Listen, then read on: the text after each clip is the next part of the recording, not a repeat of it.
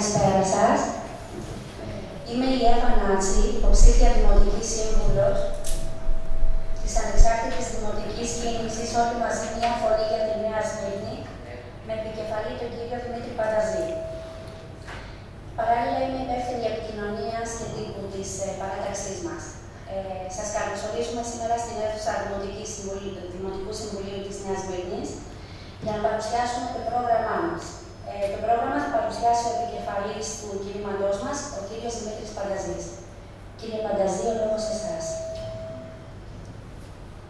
Καλησπέρα σε όλες και όλους.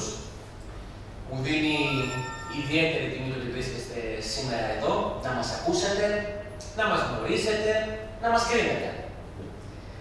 Ονομάζομαι Δημήτρης Πανταζής και ζω όλη μου τη ζωή στη Νέα Σμύρνη, μια πόλη που είναι άρρηκτα συνδεδεμένη με την οικογένειά μου, καθώς είμαστε εδώ από τη μικρασιατική καταστροφή.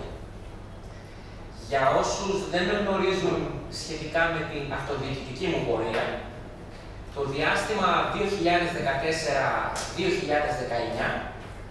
υπήρξα Δημοτικός Σύμβουλος πρώτος Εσταυρούς και ως διάδοχος κατάσταση επικεφαλής Δημοτικής Παράταξης της Ελλάσσονος Αντιπολίτευσης στο Δήμο μας. Αυτά όμως αφορούν το παρελθόν. Τώρα είμαστε εδώ να μιλήσουμε για το σήμερα και το αύριο, αύριο της πόλης μας. Γι' αυτό λοιπόν και σας μιλώ από αυτό το βήμα με την ιδιότητα του υποψηφίου Δημάρχου Νέας Μύρνης, ως ιδρυτής και επικεφαλής της ανεξάρτητης δημοτικής κίνησης, όλοι μαζί μια φωνή για τη Νέα Σμύρνη. Πρόκειται ξεκάθαρα για ένα κίνημα πολιτών, το οποίο συγκροτήθηκε από καθημερινούς πολίτες που καλύπτουν όλα τα εργασιακά και μορφωτικά φάσματα, οι οποίοι πονούν τον τόπο γέννησης ή μετέπειτα διαβίωσής τους και θεωρούν ότι ουδεμία από τις υπάρχουσες δημοτικές παρατάξεις και ουδής από τους ενεργεία ερετούς δεν τους εκφράζει. Θεωρώ μέγιστη τιμή, αλλά και ταυτόχρονα ευθύνη, το ότι σε μια εποχή που η αποχή στις εκλογές όλο ένα και αυξάνεται, ενέπνευσαν την εμπιστοσύνη σε 40 συμπολίτες μου να δραστηριοποιηθούν στο να είναι οι ίδιοι υποψήφοι. Μετά από αυτά τα λίγα εισαγωγικά, επιτρέψτε μου τώρα να πω στο ουσιώδες κομμάτι και να μιλήσω για το πρόγραμμά μας. Ως μικρός αντικειμενικά συνδυασμός, δεν μπήκαμε ούτε στιγμή στον πειρασμό να παρουσιάσουμε ένα πρόγραμμα ουτοπικό, ένα πρόγραμμα ανεφάρμοστο. Όπως θα διαπιστώσετε όλοι, το πρόγραμμα που σας παρουσιάζουμε και μέσα από εσά παρουσιάζουμε στους δημότες της Νέας Μύρνης, είναι ένα πρόγραμμα συγκεκριμένο, με προτάσεις ξεκάθαρες, υλοποιήσιμες, προτάσεις που πάνω απ' όλα απαντούν στις ανάγκες της πόλης και των ανθρώπων της. Θα διαπιστώσετε επίσης κάτι ακόμα. Κάποιες προτάσεις είχαν έλθει και παλαιότερα στο προσκήνιο και συζητηθεί, ακόμα και υπερψηφιστεί, αλλά ουδέποτε υλοποιήθηκαν. Εμείς τολμάμε να υιοθετήσουμε τις καλές προτάσεις άλλων, που οι ίδιοι άγνωστο γιατί αποκήρυξαν, επαναφέροντάς τες. Τις προτάσεις αυτές θα τις ακούσετε στο τέλος, θα σας τις επισημάνω. Σχηματικά μπορώ να πω προς το πρόγραμμά μας χωρίζεται σε δύο μέρη. Το πρώτο είναι οι άμεσα υλοποιήσιμες προτάσεις, αυτές που μπορούν να γίνουν πράξη ήδη από τις 100 πρώτες μέρες για να χρησιμοποιήσουμε και ένα χρονικό όριο που έχει αρχίσει να συνηθίζεται να ακούγεται στην πολιτική.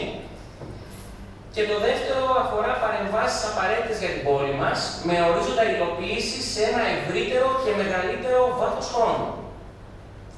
Το σχέδιο που ακολουθήσαμε στην κατάρτιση του προγράμματος είναι απλό και αποτελεσματικό. Δεν υπάρχει κάποια μυστική συνταγή, μάλιστα είναι μια συνταγή που έχει δοκιμαστεί αλλού και έχει επιτύχει. Δυστυχώς δεν ευτύχησε ο Δήμος Νέας Μύρνης να ακολουθηθεί επιτυχώς και εδώ, ω τώρα. Αφού γραζόμαστε και διαπιστώνουμε τις ανάγκες, οραματιζόμαστε και δίνουμε τις λύσεις, αναζητάμε και βρίσκουμε τα χρηματοδοτικά εργαλεία που κάνουν τις λύσεις αυτές εφαρμόσιμες. Ας προχωρήσουμε τώρα στην βήμα προς βήμα παρουσίαση των προτάσεών μας. Το πρόγραμμά μας ονομάζεται 20 συν 1 θέσεις για το Δήμο Νέας Μύρνης. 20 συν 1, ουσιαστικά 21. Ε, είναι ένας αριθμός και συμβολικός, διότι 21 είναι οι έδρες που θα έχει ο νέος δήμαρχος. Και κατά τα ψέματα θα ήθελα να έχω αυτή τη θέση από την 1η Ιανουαρίου και μετά. Γι' αυτό και είστε απόψε εδώ. Πάμε λοιπόν να δούμε ποιες είναι αυτές οι προτάσεις. Το πρώτο το οποίο πάντα απορούσα όταν ήμουν δημοτικός σύμβουλος στην περασμένη θητεία, έχοντας την κατοχή μου κατόπιν αιτήματό μου το ε9 του Δήμου και έχοντας δημοσιεύσει το αυτό στην ε, εφημερίδα που φωνή τη Νέα Βίνη, απορούσα. Γιατί κάποια περιουσιακά στοιχεία παραμένουν αναξιοποιητά έως και ρημάζουν και παράλληλα πληρώνουμε και τους φόρους ακίνητης περιουσίας για αυτά. Εγώ είμαι υπέρ μιας άποψης κάποια ακίνητα περιουσιακά στοιχεία τα οποία δεν υπάρχει τρόπος να αξιοποιηθούν, ειδικά όταν βρίσκονται εκτός των διοικητικών ορίων ενός οργανισμού τοπικής αυτοδιοίκησης, Δήμου στη συγκεκριμένη περίπτωση, να μην είναι ταμπού να υπάρχει μια πρόταση ευστοποίηση. Και ειδικά σε μια περίοδο όπου τα ταμεία του Δήμου αποδεδειγμένα βρίσκονται σε ένα κρίσιμο στάδιο. Έτσι λοιπόν θα δείτε ότι η πρώτη μας πρόταση αφορά ρευστοποίηση συγκεκριμένων ε, ακινήτων του Δήμου, τα οποία αναφορικά είναι. Θα πιστεύατε ποτέ ότι ο Δήμος Νέας Δήμης έχει 14 στρέμματα στον Δήμο Λεχενών νομού Ηλίας.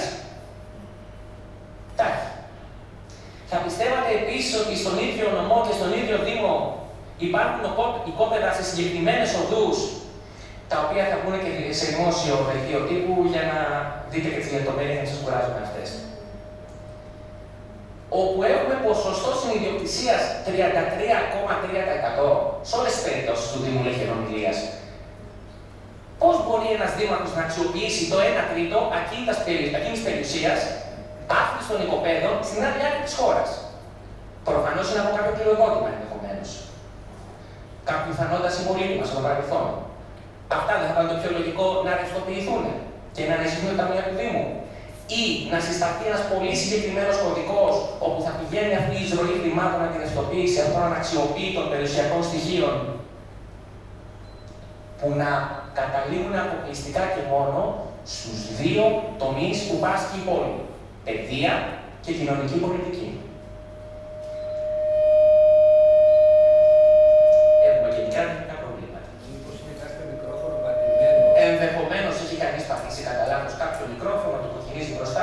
συνεχίζουμε έτσι κι Παράλληλα λοιπόν έχουμε στο Δήμο Ραφίνα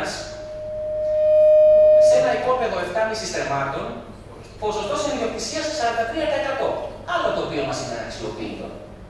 Και τέλο έχουμε στο Δήμο τη Αθήνα ένα διαμέρισμα κτίσεω του 1941, όπου και εκεί έχουμε ένα ποσοστό ιδιοκτησία 65%. Αυτά καταλαβαίνετε είναι όλα χειροδοτήματα, τα οποία προφανώ δεν μπορούν και να αξιοποιηθούν. Η άποψή μου λοιπόν είναι ότι αυτά τα συγκεκριμένα κινητά θα έπρεπε να συσταθεί μια επιτροπή όπου να αναλάβει τη ρευστοποίησή του και, και το ποσό να αξιοποιηθεί στου δύο κωδικού που είπαμε. Ενίσχυση κοινωνική πολιτική και ενίσχυση υποδομών παιδεία. Συνεχίζουμε τώρα. Στο ίδιο πλαίσιο της αξιοποίησης παραπημένων ακινήτων. Εντός των ορίων του Δήμου Νέας Μήνη, στην κυριότητα του Δήμου υπάρχει μια μονοκατοικία επί της οδού Ανισού 22, Εμείς προτείνουμε αυτό να γίνει δημοτικό κτηνιατρίο. Με προτεραιότητα τη στήλωση της αδέσποτης γάτα. Και επιπροσθέτως στον ίδιο χώρο να λειτουργήσει ένα γραφείο που θα στεγάζει τη φιλοζωική υπηρεσία του Δήμου. Το φιλοζωικό είναι ένα ζήτημα το οποίο όλο ένα και αυξάνεται. Και πρέπει να το αντιμετωπίσουμε με οργανωμένους τρόπους. Συνεχίζουμε. Κάποια άκτιστα οικόπεδα κυριότητας Δήμου εντός ορίων του Δήμου θα μπορούσαν ε, με τις κάτωθε προϋποθέσεις και προτάσεις να αξιοποιηθούν. Στην Αρκαδιουπόλεως 8, το άκτιστο υπόπεδο εμείς προτείνουμε να διαμορφωθεί σε ένα μην υπάρχον όργανο γυμναστικής. Τα ακίνητα κυριότητας Δήμου που είναι υποκατεδάφιση, κατάσταση υποκατεδάφισης, είναι ερήπια, θα πείτε και η ίδια περάσει, για τότε θα πούμε τις διευθύνσεις. Αιγαίο 143 και γωνία ξύλου ποδίου Σκοπέλου προτείνονται για τον ίδιο ακριβώς λόγο. Δηλαδή, το άρθρο οικόπεδο να διαμορφωθεί σε ένα μίνι πάρκο μόνο γυμναστικής και αυτά τα δύο πολύ μικρά οικόπεδα με τα ερημωμένα κίνητα να ισοπεδωθούν και να γίνουν ακριβώς το ίδιο. Μίνι πάρκα με όργανα γυμναστικής.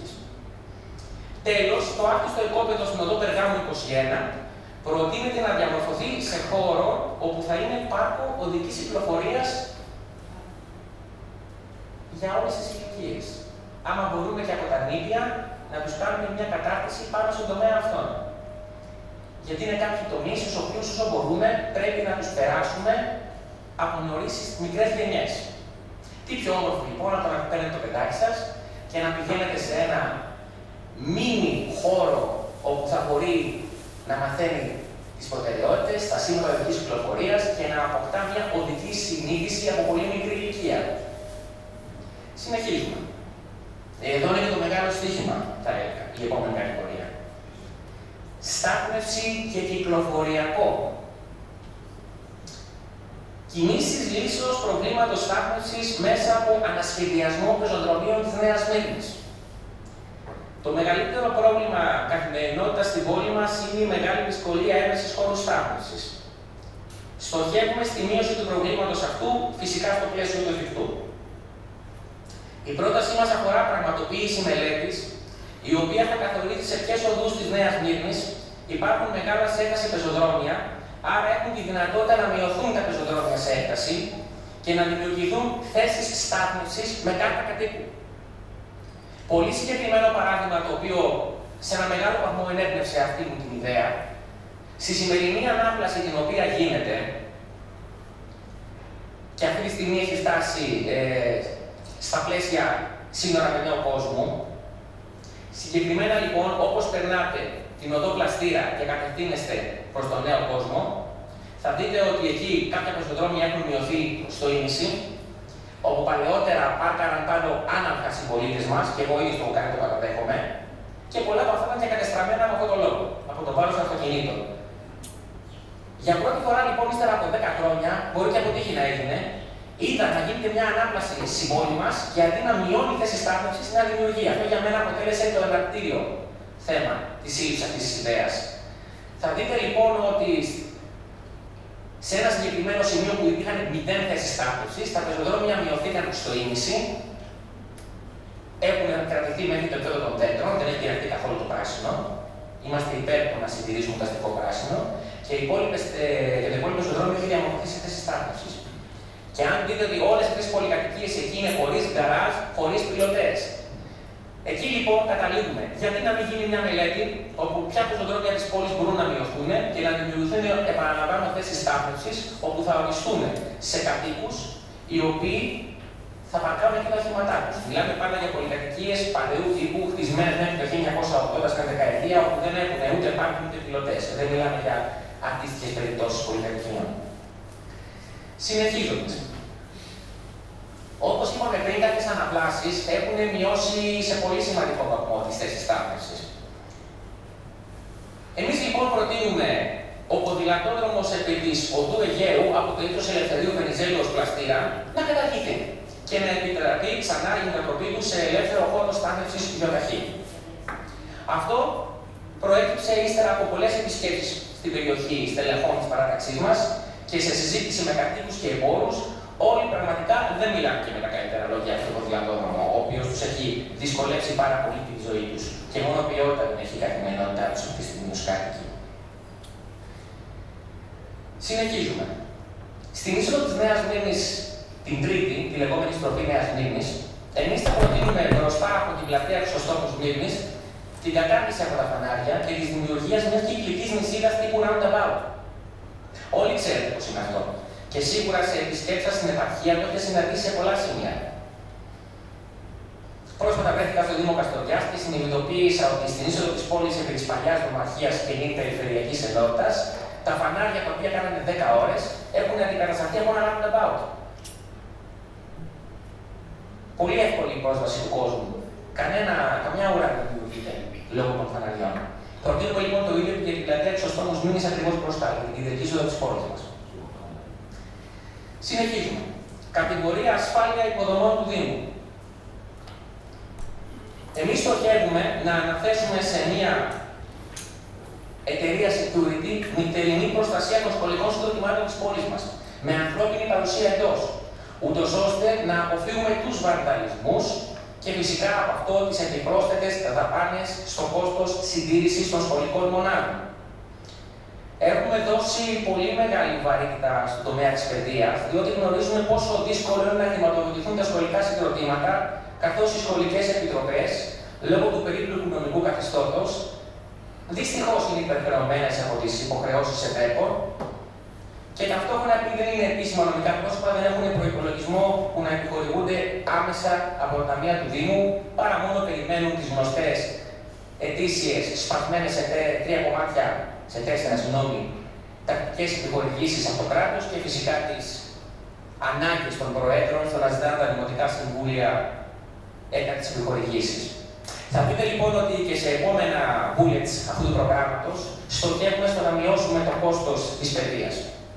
Τους τρόπους που τους μάθησα λίγα λεπτά. Ταυτόχρονα, εμείς ως Δημοτική Αρχή θα στοχεύσουμε να ασκήσουμε πίεση στην κεντρική εξουσία για τη μελλοντική προκήρυξη που ακολουθεί τη Δημοτική Αστυνομία της Νέας Μύρνη για περισσότερες θέσεις να εκδοθούν σε εμάς. Και όχι από τις ενδυνάμει 14 που έχουν ήδη αποφασιστεί και κρίνουμε ότι δεν υπάρχουν και αυτή την πόλη.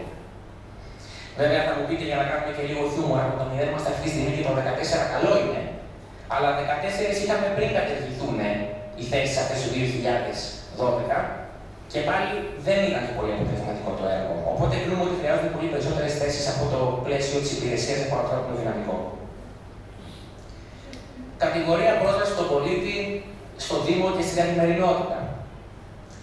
Είμαστε διατεθειμένοι να δεχτούμε διαφάνεια σε κάθε πτυχή διοίκησης της πόλης. Δηλαδή, θα καθιερώσουμε μια άμεση πρόσβαση του πολίτη στο Δήμαρχο. Στοχεύουμε την αξιοποίηση του δημοτικού ραδιοφώνου ώστε πέραν της ψυχαγωγίας να αποτελέσει το ουσιαστικό όργανο ενημέρωσης για πρακτικά ζητήματα των πολιτών, ώστε να δίνουμε βήμα στον ίδιο τον πολίτη μέσα στο δημοτικό ραδιόφωνο. Πάμε τώρα στα έργα τα οποία πιστεύουμε ότι χρειάζονται σε αυτή την πόλη για να γίνουν κάποιες κινήσεις λίγο πιο ευέλικτες. Στοχεύουμε να μετατρέψουμε το γαλαξία σε αίθουσα Δημοτικού Συμβουλίου και να διαμορφωθεί μια επιπρόσθετη πλάκια είσοδο με αναπηρική ράμπα για πρόσβαση πολιτών με προβλήματα κινητικότητας σε όποια δημόσια ημερίδα και εκδήλωση θα γίνεται εκεί. Τώρα, αν προσπαθήσει να πάει ένας άνθρωπος σε ένα παιδικό αμαξίδιο, θα πρέπει να πάει από τα πλάγια, να κάνει το γύρο της πλατείας, να ανοίξει μία από τις πλάγιες πόρτες παράθυρα του γαλαξία και να σηκώσουμε το καρότσι να δει μέσα αυτός ο άνθρωπος. Νομίζω ότι η προσβασιμότητα των ανθρώπων με κινητικά προβλήματα ότι πρέπει να αποτελέσει μια βασική στόχευση μιας επόμενης δημοτικής αρχής. Γιατί όλοι υπάρχουν πολίτες. Δεν υπάρχουν πολίτες πρώτης και δεύτερης κατηγορίας. Είμαστε όλοι ίσοι. Συνεχίζουμε. Στο φιλοζωικό πλαίσιο θα προτείνουμε τη δημιουργία δύο πάρκων σκύλων.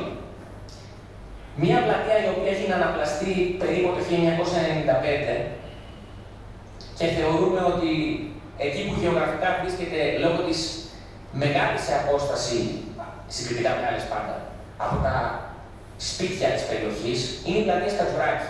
Προτείνουμε λοιπόν το πρώτο από τα δύο πάρκα σκύλων να διαμορφωθεί στην πλατεία Σκατζουράκη. Ενώ το δεύτερο, στην λεγόμενη κάτω Νέας Σμύρνη το προτείνουμε στο πάρκο της συμβολής των οδών Ελευθερίου Βενιζέλου Ακαδιουπόλεω και Ναρμό των Μαρτύρων, εκεί που γίνεται κάθε Τετάρτη λαϊκή.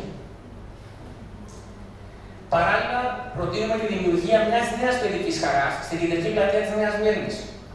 Στο ελεύθερο τμήμα έκδοση των αριθμών 15 και 17 της οδού 25 Μαρτίου. Η συγκεκριμένη παιδική χαρά θα μπορεί να λειτουργήσει ως επιπρόσθετη στήριξη στην υπάρχουσα πίσω από την πυραμίδα παιδική χαρά, όπου αυτή τη στιγμή είναι ιδανική για νύπια. Ενώ η καινούργια θα απευθύνεται σε μεγαλύτερη ηλικία παιδιών. Κατηγορία παιδεία και ενίσχυση υποδομών της. Άμεση ένταξη των κτηρίων που περιλαμβάνουν τα σχολικά συγκροτήματα στο προϊσιολόγιο του Δήμου. Τι θέλω να πω με αυτό; Κάθε χρόνο που βλέπουμε τις εκθέσεις των εργοτών λογιστών να έρχονται Οκτώβριο-Νοέμβριο στο Δημοτικό Συμβούλιο το προηγούμενο έτος και βλέπουμε ότι ενώ από 1η Πρώτου του 2011 έχει περάσει η κυριότητα των σχολικών συγκροτημάτων στο Δήμο, ο Δήμος δεν έχει κάνει ακόμα εγγραφή στο περιουσιολόγιο του. Και είναι παρατηρήσεις που την κάνουν κάθε χρόνο οι εργοτοί. Το περίμενα στη θητεία μου το 2015 να έχει ολοκληρωθεί και έχουμε φτάσει στη λήξη της επόμενης και ακόμα δεν έχει γίνει. Θα μου πείτε, γιατί σας κόπτει να γίνει αυτό; Γιατί πολύ απλά όταν ένα κτίριο έχει στην κυριότητά του, μπορείς να το εντάξεις και σε ένα πρόγραμμα χρηματοδότησης. Όταν είναι στον αέρα, το κάνεις; Εδώ λοιπόν στοχεύουμε, αφού γίνει αυτό, να αναζητηθεί χρηματοδότηση για να τοποθετηθούν φωτοβολταϊκά στις ταράτσε των σχολείων της πόλης, στα δημοτικά, στα γυμνάσια και στα λύκεια, ενισχύοντας έτσι άμεσα οικονομικά τις πολιτικές επιτροπές. Καθώς η αξιοποίηση των πόρων που θα προκύψουν μέσα από τις συμφωνίες με τη ΔΕΗ θα διατηθούν στη συντήρηση του εκάστοτε σχολικού κτηρίου που θα κατέχει το φωτοβολταϊκό συνταράτσα του. Πώς λέμε δηλαδή ότι ένα σχολείο που έχει ένα κηλικείο πρέπει τα έσοδα που εισπράττει από τη μίσθωση των ιδιών της Σχολική Επιτροπής να πηγαίνουν στις ανάγκες αυτού του σχολείου, άσχετο ότι δεν γίνεται, κάνει το τρίτε από εποχή. Στην προκειμένη περίπτωση, το εκάστοτε δημοτικό, θα δείξω παράδειγμα. Το πρώτο, ενδεικτικό το παράδειγμα, η εξοικονόμηση των δαπανών του ρεύματος από την τοποθέτηση φωτοβολταϊκού να κατευθύνονται στις ανάγκες συντήρησης του κτηρίου. Έτσι ώστε θα μειώνεται και από το πόσο συντηρήσει η σχολική επιτροπή του εκάστοτε κτηρίου. Και θα υπάρχει μια καλύτερη διαχείριση, θεωρώ, ως προς τους διευθυντές. Θα ξέρουν ποια χρήματα έρχονται και για ποιο σκοπό έρχονται. Και δεν θα κάθεται ο κάθε πρόεδρος πρωτοβάθμια ή δευτεροβάθμια σχολική επιτροπή να κάνει αλχημίες κάθε μήνα για το πώς θα βγει ο επόμενος. Λόγω του χρηματοδότηση. Συνεχίζουμε. Αισθητή μείωση του ετήσιου προπολογισμού του νομικού προσώπου πολιτιστικός οργανισμός Δήμου Νέας Μήνη σε μισό εκατομμύριο μόνο από το 1.900 που είναι σήμερα. Θεωρούμε ότι αυτά τα χρήματα που θα εξοικονομηθούν θα μπορούν να ανακατενεμηθούν σε κοινωνική πολιτική και ενίσχυση των σχολικών μονάδων. Επιπρόσθετη ενίσχυση αυτής σχολικών μονάδων με την εξοικονόμηση ρεύματος από την προαναφερόμενη τοποθέτηση φωτοβολταϊκών στις ταράξεις των σχολείων. Πάμε τώρα στην κατηγορία δημόσια έργα και πράσινο. Υπάρχουν πολλοί αθλούμενοι, ανεξαρτήτως ηλικίας και φίλου. Και δεν είναι ανάγκη να είναι επαγγελματίες αθλητές. Μπορεί και ένας άνθρωπος να πρέπει για να φέρει τον εαυτό του σε μια καλή φυσική υγεία για να επιβιώσει, να πρέπει να βάλει στη ζωή του το τρέξιμο, το περπάτημα.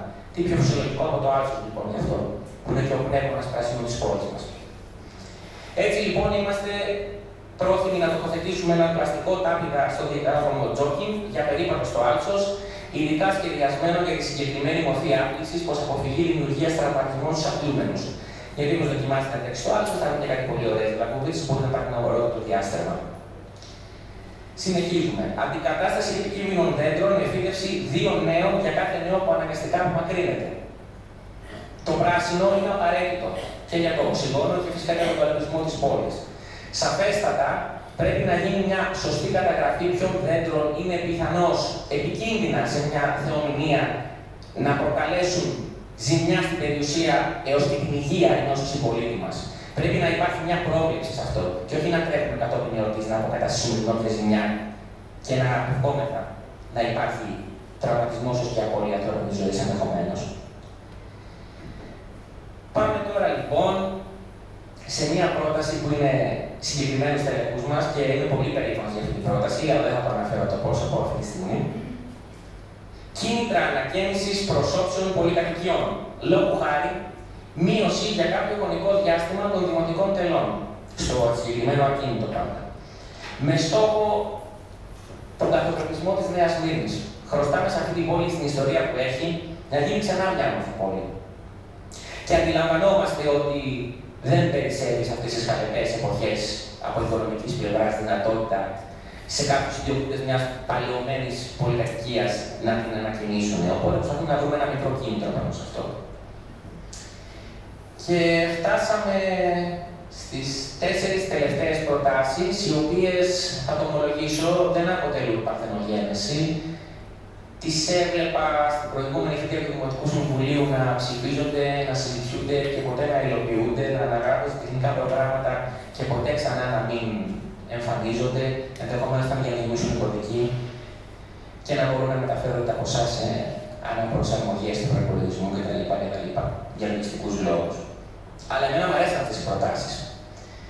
Λοιπόν, εμείς πραγματικά πιστεύουμε ότι η ακροβάτησα πρέπει να γίνει παιδικός σταθμός αυτό το νεοκλασικό που αγόρασε πριν από πέντε χρόνια ο Δήμος στη Συμβολή των Οδών, Πλαστήρα και Φιλαδελφία. Οπότε, ως Δημοτική Αρχή, εμείς έχουμε το στηρίξουμε αυτό το έργο. Όπως επίσης πρέπει να μετατραπεί ο Άταλο σε πολιτιστικό κέντρο που έχει αγοραστεί 3 με 4 χρόνια από το Δήμο και Βαλτώνη αυτή τη στιγμή. Δώσαμε μισό εκατομμύριο για να αγοράσουμε έναν ιστορικό κινηματογράφο, ήδη όπως με την Ακροβάτησα επίσης, και κάθονται. Δηλαδή έδεσε ο Δήμος ακριβώς ένα εκατομμύριο ευρώ μέσα στην προηγούμενη πενταετία για δύο ακίνητα που ρημάζουν. Ε, πρέπει να αξιοποιηθούν και να πάνε σε αυτό το οποίο, οποίο θα γίνουν. Πάντα πίστευα ότι η οδός Σαλτέλη, το μόνο μέρος στη Νέας Σμύρνη το οποίο μπορεί να θυμίζει ότι σε ένα χορφουδάκι, πρέπει πραγματικά κάποια στιγμή να έρθει στον 21ο αιώνα. Είναι ένα παλιό βαζωμένο ρέμα στα σύνορα Αγίου Δημητρίου Νέας Μήνη πίσω από το νεκροταφείο περίπου, στα των Μητυλινέικων. Έβλεπα κάτι αναπλάσεις μισό εκατομμυρίου ευρώ για βιοκλιματικό πεζόδρομο σε παλιούς προπολογισμού και τεχνικά προγράμματα, όχι αυτής της ιδέα της προηγούμενης. Εγώ είμαι τη άποψη ότι αυτό πρέπει να γίνει ένας πεζόδρομος και μάλιστα να διαμορφωθεί με τέτοιο τρόπο που να υπάρχει είσοδος και έξοδος των κατοίκων, διότι αν πάτε εκεί θα συνειδητοποιήσετε ότι όλοι οι εισόδοι τη εξενοπόλου στι παράγοντες οδούς καταλήγουν σε αντιέξοδα. Οπότε θα μπορούσε να βοηθήσει και την οδική εκεί πέρα διευκόλυνση των κατοίκων. Θα κλείσω λοιπόν με κάτι το οποίο το θεωρώ όραμα. Τι είναι αυτό το οποίο δεν έχει αυτή η πόλη; Ιδιότητα Δημαρχείων. Υπήρχε μια απόφαση Δημοτικού Συμβουλίου στις 26 Ιουνίου 2017, συγκεκριμένα για 159 κάθετος 2017, η οποία υποστήριζε για την ανέβρεση δημαρχιακού μέγαρου και πολυχώρου πολιτισμού στην περιοχή Χρυσάκη, στο οικόπεδο 2,3 στερμάτων, ιδιοκτησία Δήμου Νέας Μύρνης, επισοδού Ευεστού 37. Είναι εκ δεξιών ένα 5x5 που νοικιάζει ο δημοσιοδιώτη και εξ αριστερών ένα πάρκο. Εμείς προτείνουμε λοιπόν αυτό το οικόπεδο κυριότητας Δήμου να αναζητηθούν οι πόροι για να ανεγερθεί επιτέλους το ιδιόκτητο δημαρχείο της πόλης μας. Φαντάζομαι ότι ο λόγος που αυτή η απόφαση Δημοτικού Συμβουλίου που είχε περάσει κατά πλειοψηφία τέτοια εποχή πριν από ακριβώς 6 χρόνια δεν υλοποιήθηκε ποτέ, διότι ακριβώς ένα χρόνο μετά ήρθε η πρόταση για τη μεταφορά στον ΙΜΕΤΑ. Αυτέ λοιπόν ήταν οι 21 θέσει μας για τον Δήμο Νέα Μήνη. Σα ευχαριστώ πολύ και είμαστε στη διάθεσή σας για οτιδήποτε άλλο.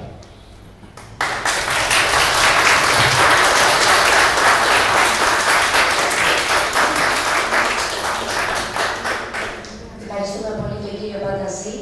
Και τώρα, όποιο από τον τύπο θέλει να, από το δημοτικό τύπο θέλει να υποβάλει δύο ερωτήσει, έχει τον λόγο.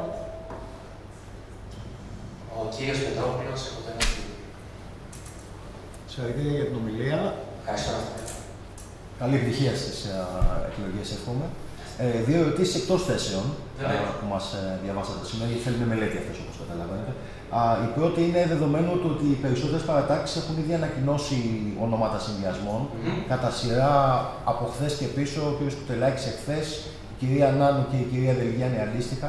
Πότε να περιμένουμε να δούμε τους υποψηφίους σας και να ανακοινωθούν από εσάς. Αυτή είναι η πρώτη ερώτηση. Και η δεύτερη ερώτηση, ένα σύντομο σχόλιο για τις παρατάξεις, δεδομένου ότι η πόλη πρότυπο πλέον δεν θα εφίσταται και ο σημερινός δήμαρχος, ο Σταύρο Τζουλάκη, δεν θα συνεχίσει τις επόμενες εκλογές. Ευχαριστώ. Να είστε καλά, πολύ ευχαρίστω να απαντήσω και στις δύο. Αναφορικά με την πρώτη ερώτηση, σας πω το ότι είτε με ένα φυλάδιο το οποίο είχε κυκλοφορήσει στην παράσταση της 25 Μαρτίου, όπου ήταν οι πρώτοι 20 υποψήφοι δημοτικοί μου σύμβουλοι, είτε και μετέπειτα ως προς τις ανακοινώσεις στα μέσα κοινωνικής δικτύωσης, Θεωρώ ότι η πόλη αυτή τη στιγμή γνωρίζει ποιοι είναι οι πρώτοι 35 υποψήφοι δημοτικοί μου σύμβουλοι, αριθμό που ορίζει κατά μήνυμο το πρωτοδικείο. Από εκεί και πέρα θα ακολουθήσουν άλλοι 15, οι οποίοι θα ανακοινωθούν όλοι μαζί συνολικά το Σεπτέμβριο. Ενδεχομένως, αν όχι με την κεντρική ομιλία, λίγο και νωρίτερα στο, στα εκείνα του περιπτέρου. Τώρα για την άλλη ερώτηση, όσον αφορά τους υπόλοιπους συνδυασμούς. Κοιτάξτε, είναι πολύ λογικό όταν ένας δήμαρχος που έχει εκλεγεί πολλές θητείες, συγκεκριμένα στο κ. Τζουλάκη τρεις, αποσύρεται, δημιουργείται ένα κοινό εξουσίας. Η κοινή λογική απαιτεί ότι οι άνθρωποι από το πλαίσιο είτε της εκτίμησης για τον εαυτό τους ότι μπορούν να προσφέρουν, είτε από προσωπική φιλοδοξία, ενδεχομένως από συνδυασμό των δύο πολύ, να μην το κρίνουμε. Δεν είναι κάτι το αλίμονο, είναι το ανθρώπινο, θα έλεγα θα επιθυμήσουν να διεκδικήσουν ε, αυτή τη θέση καθώς θεωρούν ότι δημιουργείται μια ευκαιρία. Τώρα, από εκεί και έπειτα, ποιοι έχουν τις μεγαλύτερες, τις μικρότερες ή τις καθόλου πιθανότητες, Αυτός σαφέστατα αποκρίνει ο κόσμος. Εμάς η προσωπική μας εκτίμηση για τον λόγο τον οποίο μπήκαμε στη διαδικασία να δημιουργηθεί αυτή η κίνηση είναι ότι ο κόσμος αναζητά νέες λύσεις. Σαφώς σε καμιά περίπτωση δεν μπορούμε να προδικάσουμε το προσωπικό μας εκλογικό αποτέλεσμα. Αναμφίβολα θα ερχόμαστε να είμαστε νικητές. Από εκεί και έπειτα αντιλαμβανόμαστε ότι αντικειμενικά υπάρχει μια δυσκολία σε αυτό γιατί είμαστε μια νεοσύστατη κίνηση την οποία δεν την στηρίζουν οι επιχειρηματίε και δεν την στηρίζουν κοινοβουλευτικά κόμματα και κυβερνήσεις. Γιατί όπως ανέφερα και πριν, είμαστε μια κίνηση πολιτών, είμαστε ένας από εσάς που δεν μας ικανοποιεί η υπάρχουσα κατάσταση και αναζητούμε νέες λύσεις. Στο πλαίσιο λοιπόν αυτό, εγώ από ανθρώπινη ψυχή θα πω καλή προσπάθεια στην οποιαδήποτε άλλη παράταξη και εύχομαι όπως εμείς θα πορευτούμε με μεθοδικότητα από τη μία για το μέγιστο εφικτό όφελος ως εκλογικό αποτέλεσμα και ως ετοιμότητα από την άλλη, ως προς τον τρόπο το οποίο θα χειριστούμε τις άλλες παρατάξεις, να πράξουν και εκείνες ακριβώς το ίδιο. Κάποιος άλλος που θέλει να ρωτήσει, ο κ. Παπαδάκος από τα επίκαιρα. Ε, θα ήθελα να ακούσω λίγο κάτι από την παράταξη για τα, για τα αθλητικά της πόλης και για τον Χριστό που είναι υποκατασκευή, ας πούμε, υποκατασκευή, γιατί έχει καθυστερήσεις, αλλά και για, τις, για τη σχέση που οραματίζεστε ε, του Δήμου με τις ομάδες που έχουν έδρα στην πόλη, είτε είναι τοπικές είτε είναι υπερτοπικές. Δηλαδή είτε είναι ομίλουμε είτε είναι πανιόνιοι. Που έχουν έδρα όπως εδώ. Είναι πολύ εύστοχη η ερώτησή σας, αν και ήταν κάτι το οποίο στοχεύαμε μεταγενέστερα να το δείξουμε. Σαφέστατα δεν μπορούμε να σας αφήσουμε αναπάτητο, οπότε μια πρώτη απάντηση, όχι όμως τόσο πλήρη και εμπεριστατωμένη που θα ακολουθήσει σύντομα, θα σας τη δώσουμε. Εμείς θεωρούμε λοιπόν ότι ένα πρόβλημα δεν μπορεί να αποτελέσει τη λύση του η αιτία η οποία το προκάλεσε. Οπότε θα πούμε πως όποιες διοικήσεις αυτή τη στιγμή εμπλέκονται σε αυτό το έργο, το κλειστό, ένα πολύ σημαντικό έργο της πόλης μας, ένα δημοτικό, δημοτικό γυμναστήριο το οποίο φιλοξενεί πολλές φορές τις ομάδες της πόλης μας, από τις πιο μεγάλες και ιστορικές Πανιόνιος, Μήλωνα, όσο και τις μικρότερες φυσικά, είναι ντροπή το ότι βρισκόμαστε σήμερα 25 μήνες μετά την ημερομηνία έναρξης της σύμβασης ανέγερση αυτού του έργου, ενός έργου που αν θυμάμαι καλά είχε. Την προηγούμενη προεκλογική περίοδο είχε. Ε, όχι, άλλο πάει το μυαλό μου, στα οικονομικά, γιατί είναι και ανθρώπινο υπολογιστή. Με την έκδοση από τον άκτορα κατέβηκε στα 10 εκατομμύρια 500.000 ενώ αρχικά ήταν στα 21 εκατομμύρια. Αυτό ήθελα να βρω. Γι' αυτό και υπάρχει. Δεν είναι καιρό πρέπει να ανατρέψει στη μήνυμα φωτογραφική. Θεωρούμε λοιπόν ότι ένα τέτοιο έργο το οποίο υπογράφηκε 1η έκτου του 21 η σύμβαση, το 24 μήνο έλυγε 1η έκτου του 23 και είμαστε 5 εβδομάδες μετά. Και αντιλαμβανόμαστε ότι δεν υπήρχε περίπτωση αυτού τους 24 μήνες να ολοκληρωθεί αυτό το έργο, αλλά λέγαμε ότι εντάξει, θα δοθεί στο μια παράβαση του ενό, του ενάμιση, των δύο των χρονών.